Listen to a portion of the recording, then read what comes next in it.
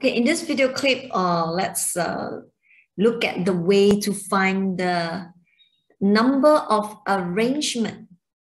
Okay, the number of arrangement, five cards out of eight cards, whereby S and T need to be included. Okay, because the answer scheme given is actually answer that question, not this question. So we are actually looking for number of ways to arrange five cards, okay, to arrange five cards whereby, okay, S and T need to be included. So the solution here is for combination, that is to select any five cards whereby S and T must be in. But over here, S and T must be in, we have to arrange the five cards that we have chosen. Okay, so with that, uh, let's start with the first scenario here.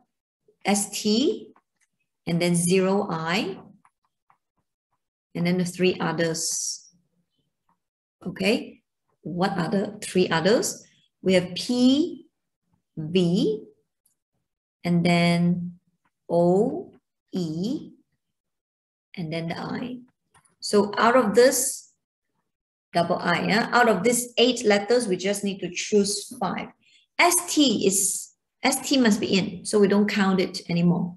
Okay, there is only one way to choose S and T. That is the only way. That's why it's one. We don't have to count that. So let's look at this one. Or the second scenario will be ST with one I and the other two letters. Or we may have ST with double I and one others. All right. So let's find the arrangement with this. So I will use the fill in the blank method. One, two, three. Um, ST must be in, but it never mentioned, it never mentioned this uh, condition whereby which one, how does it start? Okay. Since ST must be in, and then we just need to choose the remaining three letters to permute with the ST. Okay, no I, so don't choose from I. So we shall have 4C3, okay, number of ways to choose that. And then followed by, now, add together with the S and T that need to be included. We have five letters here, so permute the five letters. Okay, no extra condition is imposed here. So we just select any three out of the out of the four others and then permute it. Or, so let's plus. Same thing, we already know the selection. We just select any two from the others. That means 4C2, four items here. We just choose any two. Once we have make the choice, with the number of choice that we make, 4C2, Okay, we make up five letters. We just permute that five letters. All right. And then when two I's must be in, so we will have, we're being biased. ST2I, no need to choose anymore. We just need another one to permute with ST and 2I.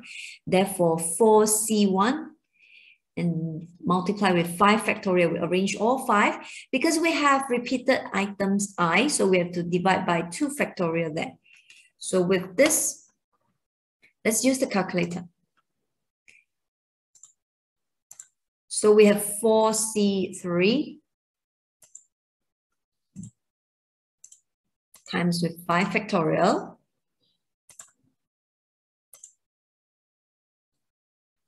Then we plus 4C2 times with 5 factorial. And then we plus 4c1 times with 5 factorial, but this time we have to divide by 2 factorial.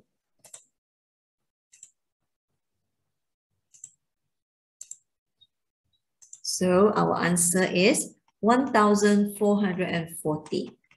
So this is the answer given in the in the answer scheme, but that that is the correction that I need to highlight This is to find the number of arrangement, okay, to arrange the five cards. But the question here is asking about to select the five cards. Okay, so 14 is the correct answer. Okay, this one, uh, some mistake there.